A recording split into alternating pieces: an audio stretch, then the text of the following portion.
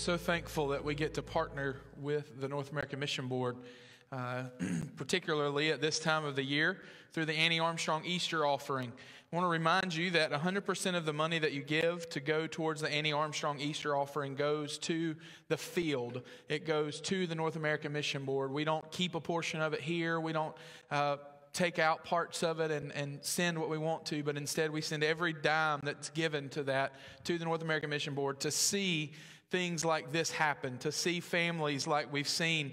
Uh, talking about in the videos this morning and also the videos last week. And so it's great to get to partner and to be able to see real life what's going on across our, uh, right here in our, in our continent, in our uh, part of the woods. We see a lot of times what, what's going on in third world countries and how things are not going well there.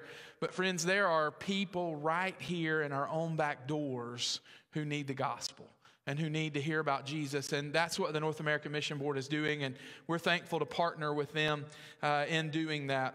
I tell you, this week has been an awesome week. We've got a lot of things going on. We've been able to do a lot of things. Our Keenagers met back together uh, for the first time since before the pandemic. Uh, and let me tell you, those who may not know, our Keenagers is our senior adult group. I, I had an opportunity to meet with a few of them this week just to kind of talk about going forward from here, what are we going to do? What is the program going to look like? When are we going to get to start going on trips again? And one of them said, Well, maybe not everybody knows what Keenager is. Maybe they think you're saying teenager but we're actually saying key, K E E N, ager, and that is our senior adult group here at the church. And let me tell you, before the pandemic, they were very, very, very active. And I have a sense that they are getting ready to be very, very active again uh, as they are going through that. They had a great group on Monday uh, at their meeting and had a, had a good time together, a fellowship. Then we got to see students here on Wednesday night, student and children, uh, just seeing our volunteers serve the Lord and, and minister to those children and students that were on campus. Uh, it was a great night. I got to be upstairs with students, and so that was a lot of fun. I always uh, value any opportunity that I get to be upstairs with our students. Uh, as some of you may or may not know, I served as a student pastor here uh, for about six years uh, seven years in that area before I became pastor here. And so it's always a joy and a privilege to be upstairs with our students uh, and get to see what's going on there. I'm thankful for our staff and what they're doing and how they're ministering across our campus uh, and the things that are happening uh, as we are strengthening relationships with God, as church, in the world, right here in Cropwell.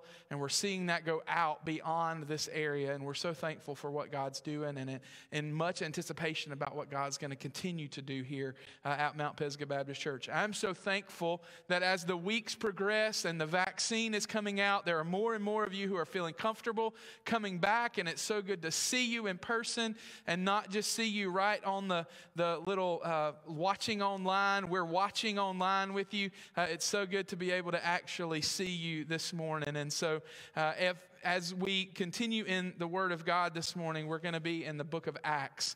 We're going to continue our study and our walk through the book of Acts as we've made it to Acts chapter 16. Uh, we took a break during the, the holidays, uh, and then we kind of did another series, and, and we've been back in Acts now for three or four weeks, and uh, we're going to finish this thing up before long, I promise. We're going to have to take another break for Easter, but we're going to come back and we're going to finish up the book of Acts. Now, I told you in the beginning that we were going to be talking about obstacle courses, and uh, that is something I would venture to say that most of us enjoy. Most of you like some kind of an obstacle course, if it's doing it physically or watching it on TV, American Ninja Warrior, some of those different. My kids love watching this show that's kind of an obstacle course called The Floor is Lava. How many of you ever seen that? Yeah, we have the game, The Floor is Lava. And we had some friends over last night after Ford's birthday party and they wanted to get it out. And I was like, please don't get out all the pieces to this. And Amy's like, there's not that much. Just let them play it, it'll calm them down. And so they played The Floor is Lava last night. But we all enjoy that obstacle course thing sometimes, that challenge. But there's obstacle courses in life sometimes that we're not so thrilled about. And we encounter those obstacles. And I want us to see one of those this morning uh, in our passage of Scripture. But before we get there, uh, I want to tell you about a story. I told you I had a, an obstacle course story. So this week was Ford's birthday. He turned four years old. I know you can't believe it. I can't believe it either. Time is flying by. But about a month and a half, maybe two months ago, we started looking. He wanted to have an inflatable at the church, and that's what he wanted for his birthday party. So we started looking at the inflatables, and he picks out this humongous inflatable that's an obstacle course. It's like, I think Miss Deborah told me last week, I think it was 19 feet tall and 72 feet long, and we were wondering if it was going to fit in the gym. All right, so that's what he picked out. So Amy and I start looking at it and we realize that it's really big and Ford's going to be four and there's going to be some little kids there and we're like, I just don't know that they can do this one. And so we steered him in a different direction. We steered him to do something different. Well, then last week we show up at another birthday party and guess what they had? the big obstacle course, 19 feet tall, 72 feet long. And what's the first thing they did when they got out of the car? Yes, it's the obstacle course. And they jump on, and with no problem, they're at the top and they're coming down and they're going through it. And the next thing we know, they're at the end of the obstacle course. And I looked at Amy and I said, We might have to change the inflatable that we get for the party because I think they can do this. Uh, and she said, Well, let's wait because it's twice as much so let's see if they get in the car and say, I can't wait to have that at my party next week. Praise the Lord, they didn't do that. We got a smaller inflatable yesterday, but obstacle courses, our kids love them, we love them, be it doing them or watching them. But again, sometimes we don't like the obstacles of life. And this morning, that's what I want us to see. In our text today, we're going to see that Paul and Silas were traveling back to the new church that Paul had begun and Paul and Barnabas started their ministry in. They were going to these churches to encourage and to strengthen them and, and strengthen these new believers and to, to teach them and to lead them in the way that they needed to go. And they were started encountering some struggles. And we've, in, we've, we've watched some of these struggles. And so this morning we're going to look at those obstacles. And if you have your Bible, and I hope you do, and you've opened to the book of Acts, chapter 16, I'm going to begin reading in verse 1, and I'm going to read through verse 5. If you don't have a Bible, the words will be on the screen. Acts chapter 16, beginning in verse 1. Paul came also to Derbe and to Lystra. A disciple was there named Timothy, the son of a Jewish woman who was a believer but his father was a Greek. He was well spoken of by the brothers at Lystra and Iconium. Paul wanted Timothy to accompany him, and he took him and circumcised him because of the Jews who were in those places, for they all knew that his father was a Greek. As they went on their way through the cities, they delivered to them for observance the decisions that had been reached by the apostles and elders who were in Jerusalem. So the churches were strengthened in the faith, and they increased in number daily. Would you pray with me? God, we thank you so much for today, and we thank you for the opportunity that we have to dive into your word, God. God, that we have to learn from your word. Lord, that we can learn from examples of people who have lived life like we live life. God, in a different time and a different day, but Lord, still a life that we can connect with, God. And so, Lord, help us today in the balance of the time that we have left to learn from your word this morning. It's in your gracious and loving heavenly name we pray today. Amen. So, with the time that we have left this morning, I want us to take a moment to look at this passage of Scripture a little more in depth and to see where it's talking about these obstacles and, and potential obstacles that it exposes here that we may deal with in our own personal life. So, in the beginning here, uh, we see that Paul and Silas, or Paul and Silas, have started their journey, and it talks about them going to Derbe and Lystra. Well, here's what I want us to understand. Why is that so important? Why would that have anything to do with an obstacle?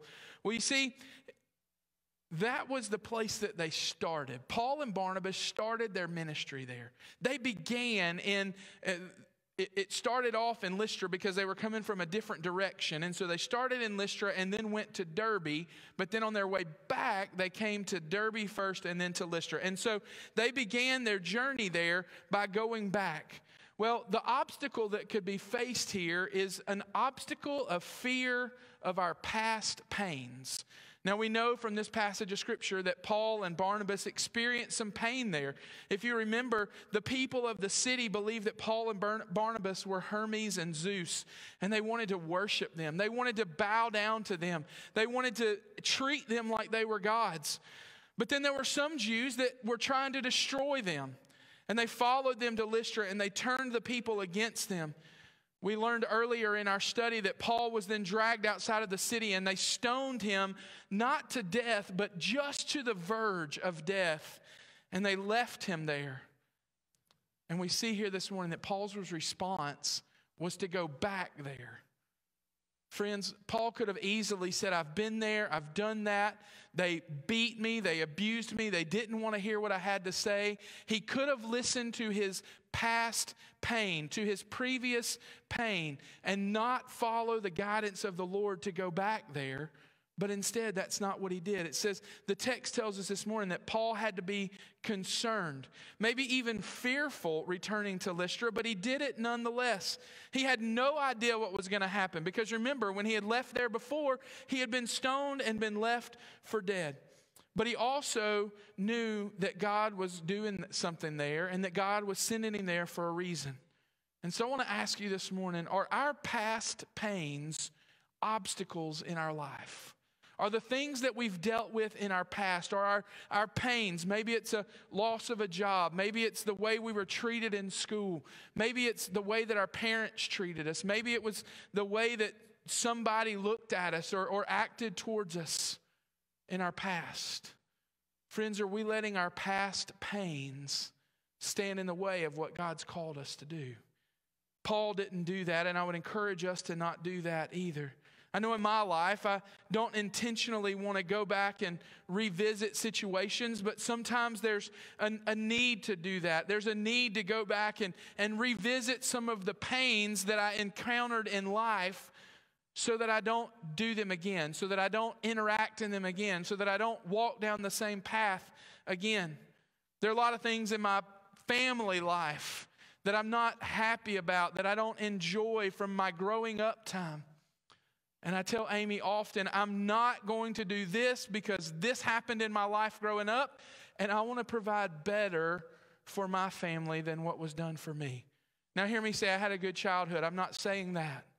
But I went through divorce with my parents. That was a past pain. I don't want that to happen in my life. I'm, I'm not willing to let that happen. I'm, I'm going to do what it takes to make sure that doesn't happen in my life. I don't want my children to experience the same pain. However, our past pain should not keep us from living for Jesus. It shouldn't keep us from going and doing. Instead, it should spur us on with the experience that we've had to help others who are encountering the same struggles that we've encountered in our life. Friends, don't let your past pain stop you from future victories. Don't let our past pain stop us from future victories. If God leads you back through a tough place, trust Him. He has a reason for taking you there. So, friends, this morning, one of the obstacles that we see here in Paul's life was he went back to somewhere that had caused him pain. And although he was fearful of it, he didn't allow it to keep him from doing what God had called him to do. Sometimes our obstacles can be a fear of past, past pains. The second thing is sometimes our obstacles can be family. Sometimes our obstacles can be family. You're like, what do you mean by that? Well, sometimes there's things that our family have done that we could present ourselves as obstacles. Friends, we don't always get to, well, in fact, we never get to choose who our family is unless we marry into it. They can make it or they can break it for us. Our family can make it very difficult. They can make times and situations difficult for us. We see here in this passage of Scripture that Paul and Silas have met Timothy and they want to bring him along the journey with them. Timothy was a, a student that was had, had come to know the Lord during Barnabas and Paul's first missionary journey through this area. And he's grown and he's gotten to know the Word. And now they want Paul and Silas want to take him on this missionary journey with him. But it says that Timothy's mother was Jewish and his father was a Greek. And I'll be honest with you, friends, that wouldn't make it very easy for someone to go and to share the gospel in a Jewish place. Most scholars believe that Timothy was 16 to 18 years old by this time. Again, he was saved under the, the previous ministry of Paul and Barnabas when they had gone to Lystra the first time. And then Timothy had been taught the scripture by his mother and his grandfather. Many scholars believe that it was at the denouncement of his father. Many scholars believe that his father probably did not like the fact or protested the fact that his mother and his grandmother taught him the scriptures. Friends, you have family that's tugging you one way or the other. You have family that may not have a relationship with Christ and they don't understand why you do the things that you do. They don't understand why you make the decisions that you make. Sometimes they can be obstacles that stand in our way. But I want to encourage you to not forget that Jesus said that you have to choose between Him and family. I hope you've never had to make that choice, but if you do, I hope you make the correct choice. And while it may not be easy, it'll be the right choice every time, and the reward will be great for what God is going to do in your life. But let's be honest, we all have that family that's tugging even I have family that doesn't have a relationship with the Lord and they tug and they don't understand why I do what I do and they don't understand why I stand in this pulpit every day, every Sunday and preach the Word of God. They think that it's just fables and myths that we're talking about. But, friends, I believe in the written, inerrant Word of God, and I believe that it is worthy to be preached, and I believe that it is worthy to be taught, and I believe that it is worthy to lay my life down for if that's what God has called me to do. It doesn't matter what family says when it comes to the Word of God. We have to follow Jesus. We all have those things in our family that we're not happy about and that burden us.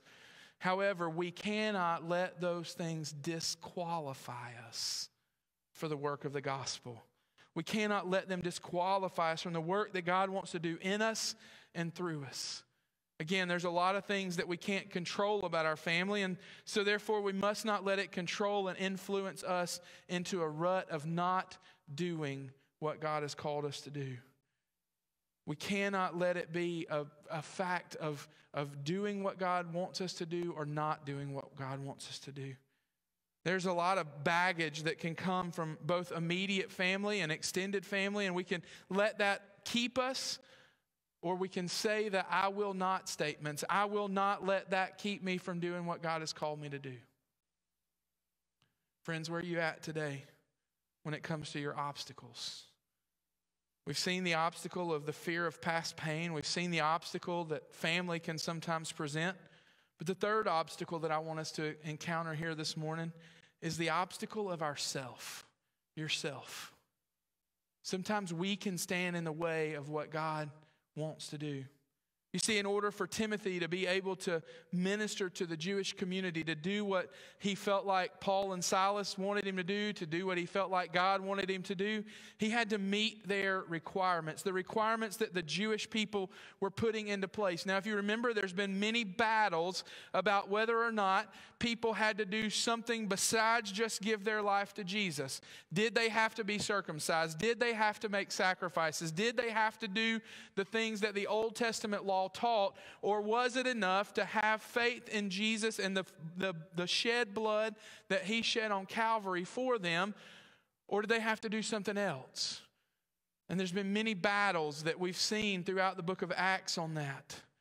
But we saw here that Timothy understood that in order to, to really be able to go and do an effective work for Jesus, he probably needed to set aside what his belief was on that I would venture to say that Timothy probably believed that through faith in Jesus, he had a relationship and he was just as good as any Jew that had followed all of the laws.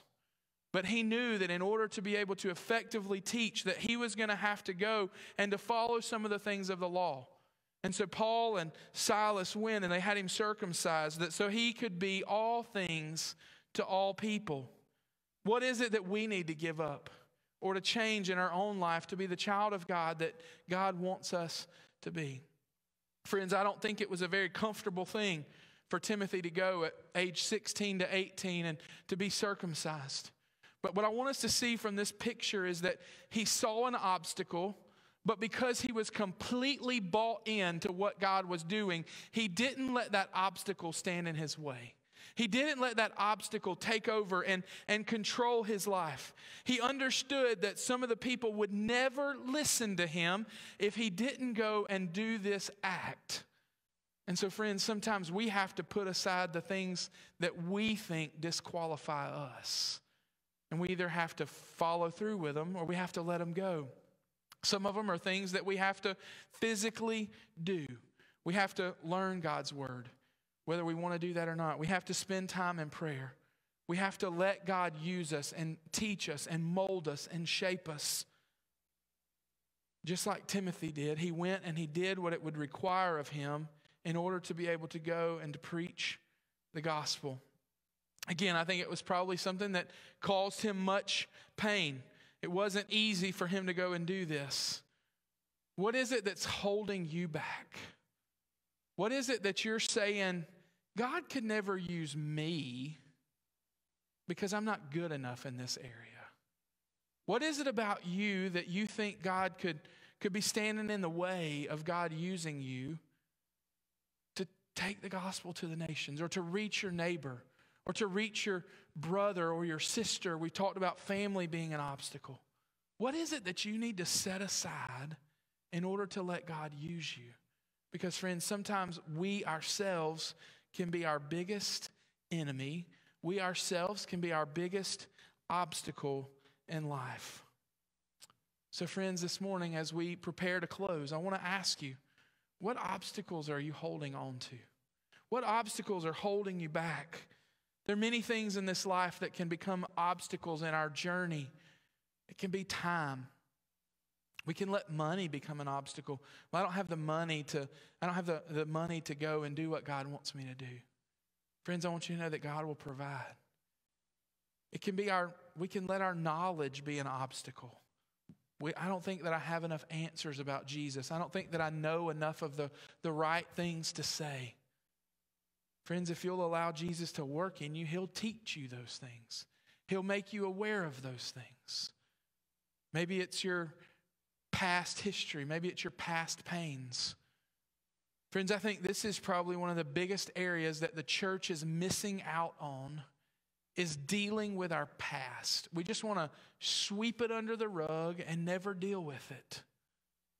But, friends, we must deal with our past and not let it become an obstacle that keeps us from doing the work that God has called us to do. Maybe it's past sin. Maybe again, it's your family or even yourself that can stand in the way. But I want to encourage you this morning to be like Paul and to be like Silas and to be like Timothy and be willing to not let those obstacles stand in the way. Not, don't let those faults, those shortcomings keep you from doing the work that God has called you to do and keep you from working on the call that God has placed on your life. Would you join me as we pray this morning? God, we thank you so much for today. And I thank you for the opportunity that you've given us to study your word for a few minutes this morning. God, I thank you for the example that was made here, God. We always find ourselves fearful of stuff that's happened in our past.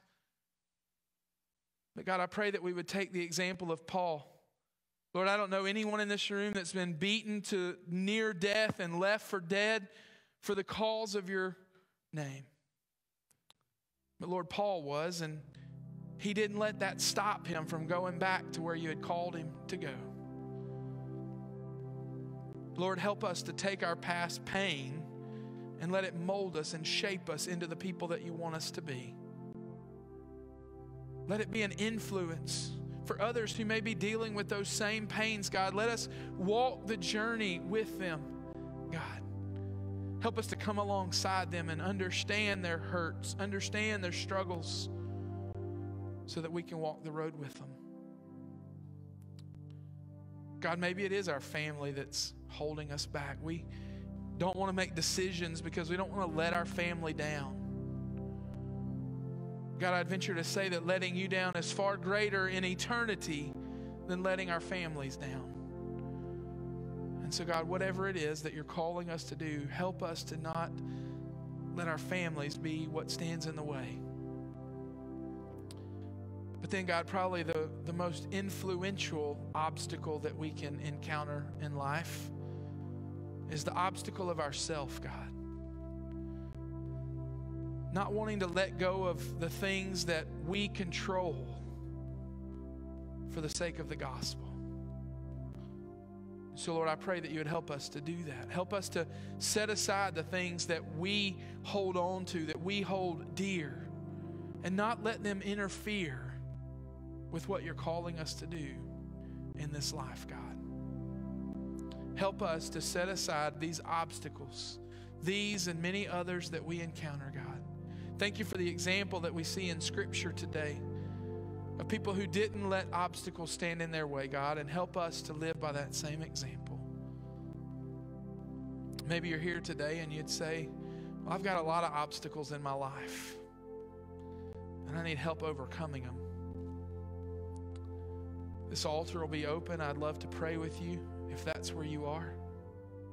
Maybe you're here today and you say, Well, the biggest obstacle I have is that I don't even have a relationship with Jesus. Friends, I beg you to not walk out this door the same way you came in. God, find help help us find those obstacles that keep us from you. Maybe you're here this morning and you say, Well, you know, it's time that I unite with Mount Pisgah Baptist Church and the mission that God's called them to and strengthening relationships with God, His church, and the world around and you want to come and be a part of the covenant fellowship here at Mount Pisgah, I would encourage you to come, and I'd love to talk to you about next steps with that. But again, I pray that you not walk out of this room the same way that you walked in today. If God's calling you to make change in your life, I pray that today would be the day that you do that. God, thank you so much again for your word. Thank you for allowing us to hear from it, God. Thank you for speaking to us. God, teach us, shape us, mold us for your name's sake, God. It's in your gracious and loving heavenly name we pray.